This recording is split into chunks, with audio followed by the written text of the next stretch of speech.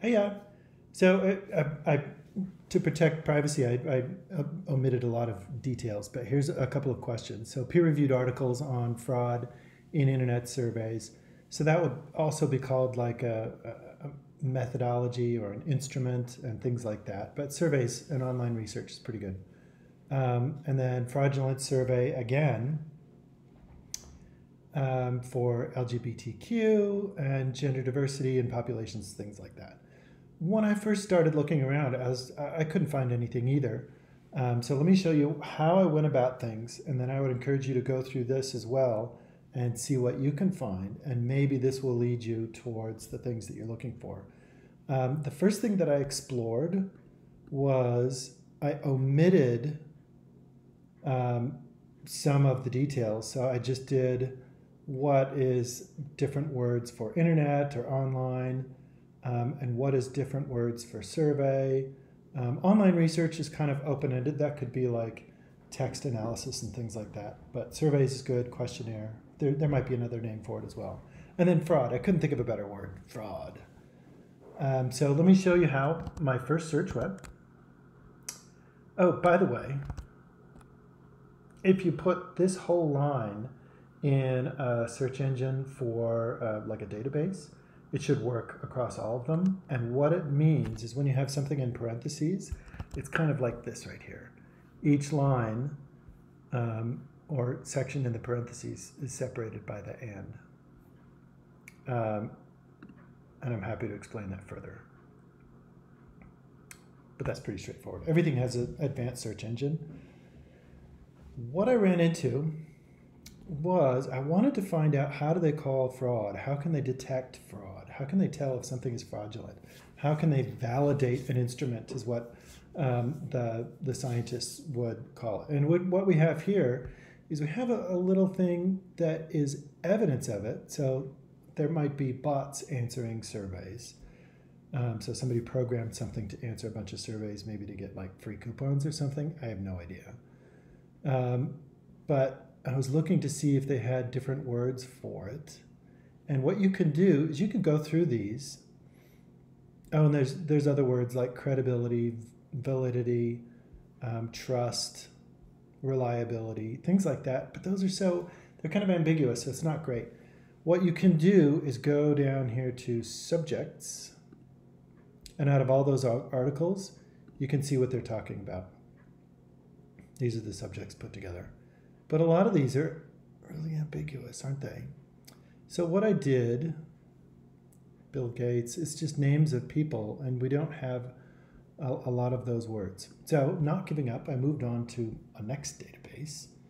Uh, but I think what you would do is you would cruise through the titles a little bit and save the ones that looked pretty good. Because it might be something like a mosaic where you're taking little pieces and building a case um, instead of finding the perfect article that says everything you want to say. So this might be more of a mosaic. Um, oh, truthfulness. But I looked in the library catalog for that. And here you can see I looked at that whole thing. Library catalog's just the main search. And here we have bots, but we also have bad actors, data quality. Um, so these are other keywords we could throw in there. Let's see. Let me start another one. I'm going to copy this one. And data. That might be part of it. If that's the way that um, medical professionals in particular, if that's how they assess it. We'll get to that one. Um,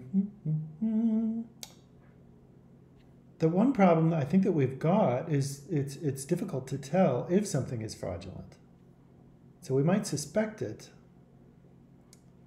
um, but again, you can go through the subjects on this side.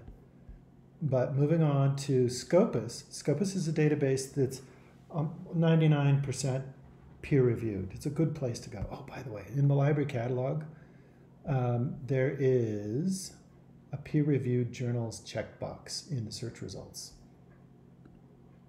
Scopus, this was, so here I did, you could see that whole search that I did.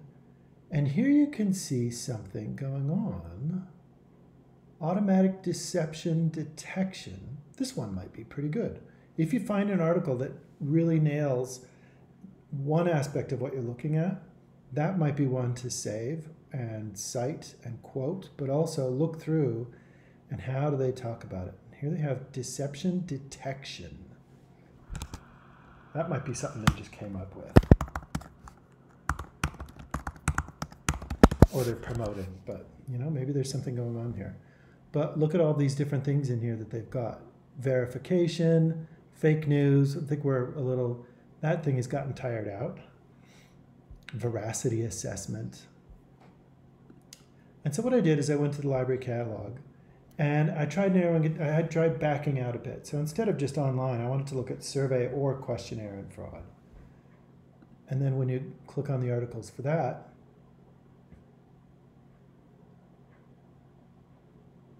and sometimes you just have to keep on taking away keywords until you, until you start finding those things that you um, resonate with your topic. Oh, this is going achingly slow. There's validation. Questionnaire validation.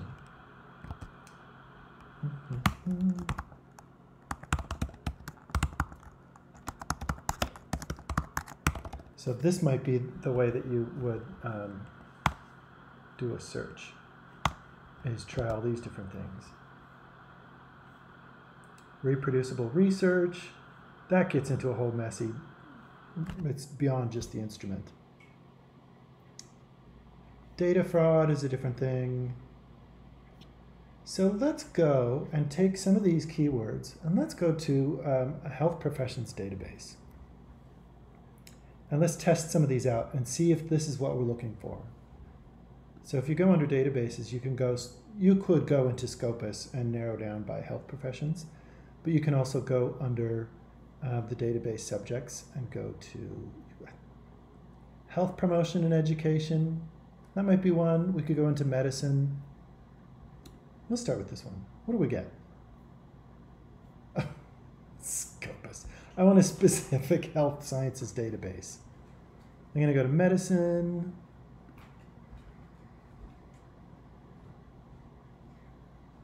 And there's one that I really like. It's it's called Medline, and that's another. Um, ooh, really good too. Let's try Medline.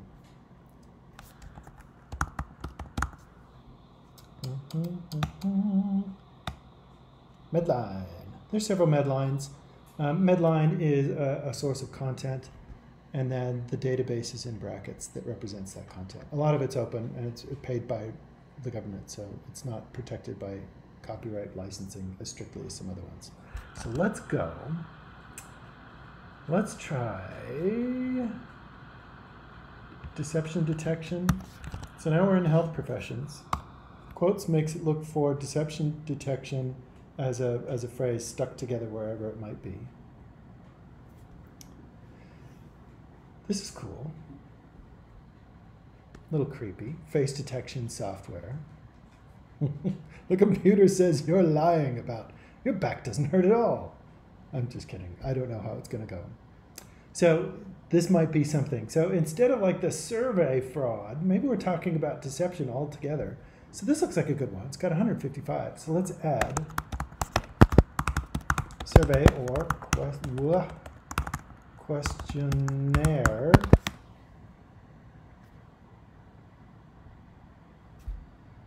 Okay.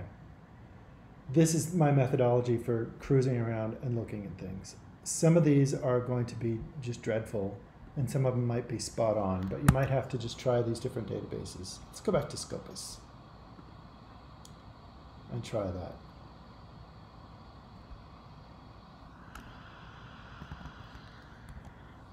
Deception, detection, and surveyor questionnaire. So there's 49.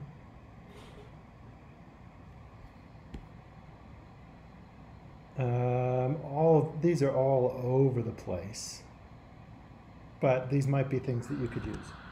Um, we could also go back and do questionnaire and validation in that medical database.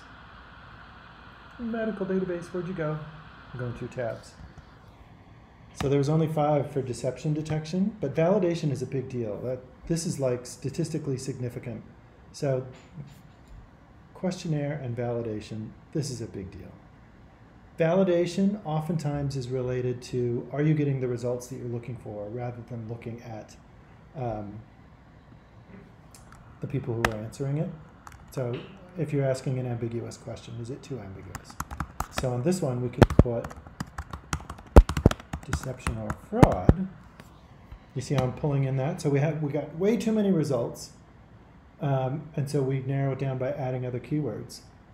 And so falsified hand sanitizer, I do not want to hear that right now.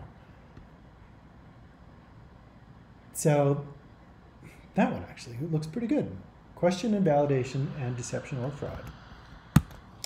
Now, if we're looking, um, so I would cruise through these and see if they're okay, but try these other, you know, you as you cruise around keywords and you find things, this is probably the way to go.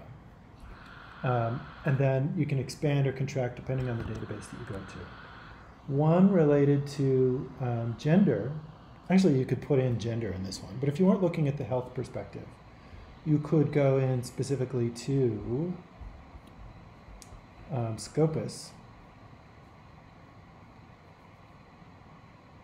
and we had that search. And then we could put in LGBTQ. And I'm gonna, what do I put? I put a star. So in case there's other ones that go, like a plus or, or other iterations of that. And we could go into those specific populations. No, no results found.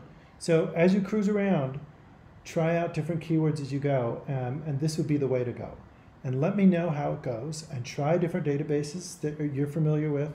Um, and I think we'll track something down. But it could be that there's not a lot written on this and we might have to piece it together like a mosaic. Okay?